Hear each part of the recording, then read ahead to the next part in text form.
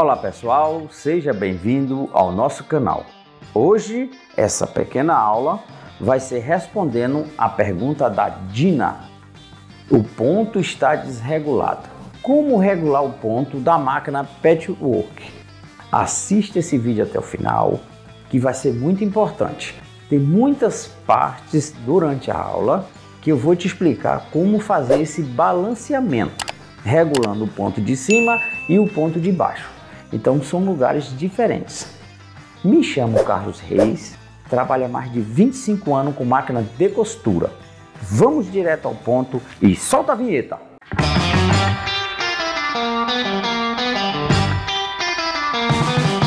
Olá pessoal, vamos dar início então à nossa pequena aula de hoje.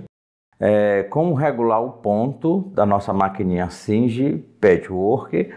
É uma maquininha muito boa tem pontos, quantidade enorme de pontos, 99 pontos ela consegue fazer. É uma maquinazinha eletrônica. Então, uma maravilha de máquina. Então, nós vamos ensinar a vocês como regular o ponto se está desregulado, tá bom? Então, vamos dar início aqui à nossa pequena aula. Bom, pessoal, então vou ligar ela para a gente fazer um teste, para a gente ver como é que está o ponto dela. Pronto, ó. Eu botei embaixo uma linha preta e em cima essa linha meia laranja. Eu vou aumentar o ponto dela aqui, tá em 2,5, vou botar em 4. Pronto, então vamos lá. Tá na costura reta, tá bom? Que é o 00. Pronto, chegou aqui. Vou tirar ela aqui para mostrar como é que ficou para vocês. Tá?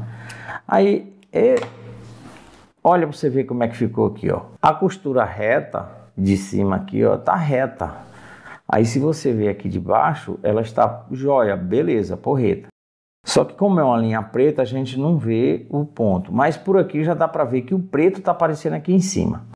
Então acontece, se o ponto ficar desse jeito aqui, ó, e você pegar esta linha de cima e puxar, ó, tá como se fosse para franzir, ó. Ela sai com maior facilidade, tá vendo?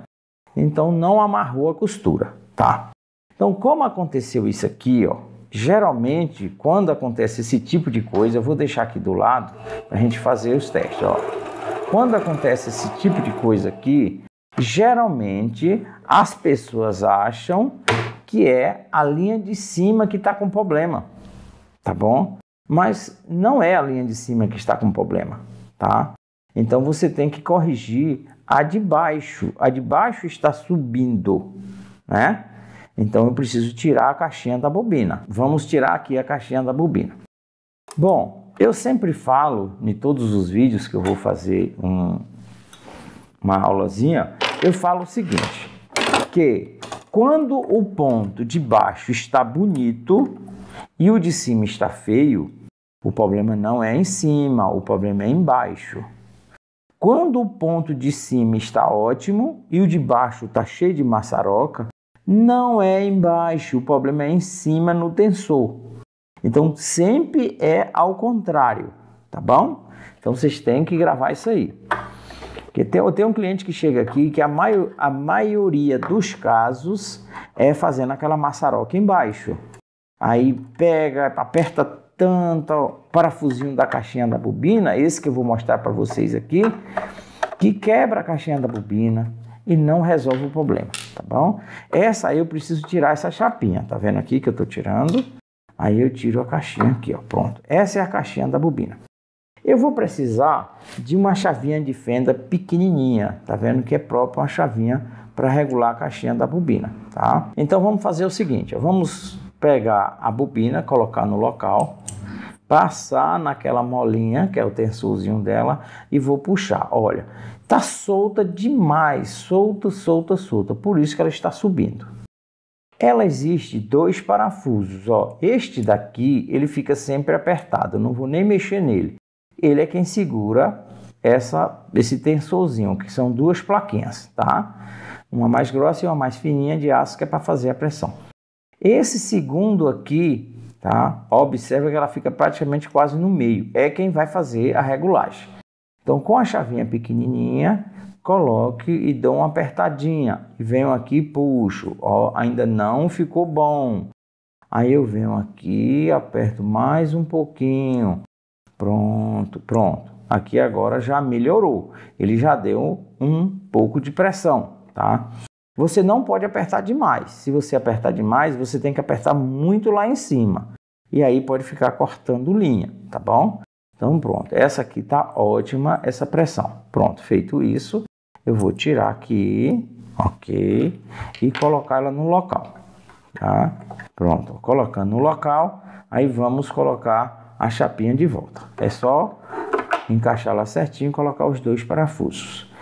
E aproveitando o gancho, você que está gostando da aula e você que ainda não é inscrito, se inscreva no canal, dê aquele joinha, ative o sininho de notificações.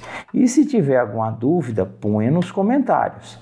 Aí eu quero saber de outra coisa que está acontecendo na sua máquina aí, põe nos comentários que se a gente não tiver é, já alguma aula pronta, algum vídeo de aula, a gente vai produzir para você, tá bom? Então vamos colocar a caixinha da bobina aqui no local e colocar a tampinha.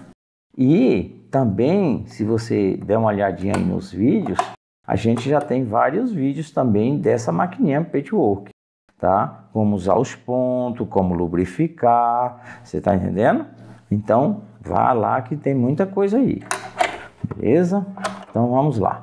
Bom, agora eu regulei o ponto. Olha, eu deixei o ponto aqui. Pronto, eu fiz essa regulagemzinha aqui. Vou pescar a linha de baixo para cima, não esqueça, tá bom? Pronto, puxei e botei aqui. Agora vamos dar uma costuradinha do outro lado para a gente ver como é que está ela, tá bom? Beleza.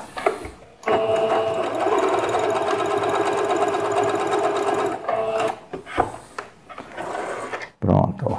Se você observar, ainda está aparecendo um pouquinho aqui o preto.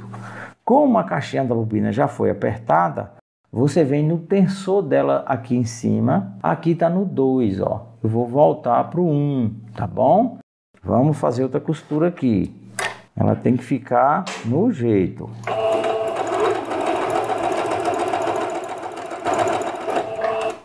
Pronto. Olha, pronto. Já ficou bem melhor. Aqui está ótimo. Se você ainda quiser tirar uma dúvida, a gente abre o zigue-zague. Eu vou botar no zigue-zague, que seria o número 3. Como você tem sua máquina, você sabe disso. Então pronto, eu vou botar no número 3 aqui do painel, que o 3 é o zigue-zague. Vamos lá. Aí quando você vai fazer o zigue-zague, é uma maneira também de você saber como está a pressão dela. Pronto, vamos sair aqui. Pronto. Aqui em cima está no mais de um, um pouquinho. E aqui embaixo está naquela pressão lá. Pronto. Aí você olha aqui em cima, ele está perfeito, todo na cor laranja. Aí a gente vem aqui embaixo, pronto, ó. Tá quase todo no preto, tá? Aí apareceu um pouquinho aqui, ó, do laranja. Aí eu venho no tensor e dou só mais um pouquinho do aperto que ela vai ficar legal. Então pronto, ela tem que ficar quase toda embaixo e quase toda em cima. Você vai costurar geralmente com a mesma linha, a mesma cor de cima, a mesma cor de baixo. Alguma coisinha que sair não vai fazer diferença, tá bom? Eu apertei mais um pouquinho, vamos ver como é que ficou. Corta aqui e pronto. Beleza. Ok. Pronto. Melhorou bastante embaixo, algum pontinho pegou. Isso pode até ser no desenrolar da própria linha do tubo lá, que dá uma puxadinha. E aqui também ficou porreta. Aí algum pontinho pretinho apareceu aqui do lado, com algum pontinho laranja apareceu aqui. Pronto, aqui está perfeito. Você vai costurar com a mesma cor de linha. Então não vai fazer diferença, ok? Beleza, ficou ótima. Agora, se a gente, eu vou só soltar aqui até o zero, pronto, todinho solto. E vamos ver como é que vai se comportar aqui agora. Isso, no caso, seria em cima o tensor. Ó.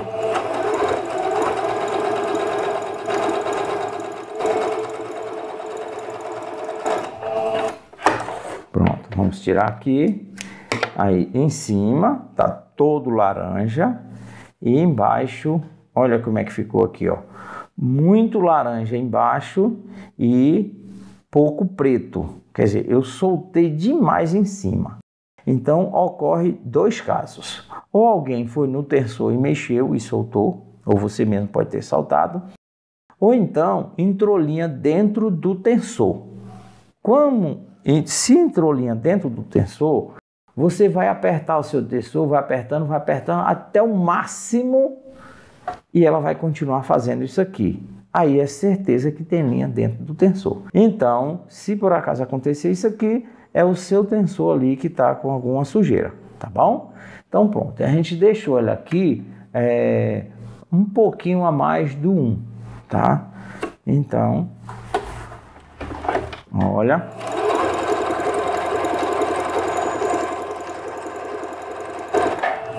Pronto, é isso aí. Olha, tá porreta aqui em cima. Algum lugarzinho do buraco da agulha a gente dá para ver o pretinho, mas é muito pouco. E vem para o lado de cá, muito pouco aparece o laranja. Então esse ponto aqui tá porreta. Então, primeiro passo é a regulagem da caixa da bobina. Ela não pode estar tá apertada demais, nem, tá, nem também pode estar tá solto demais, tá bom?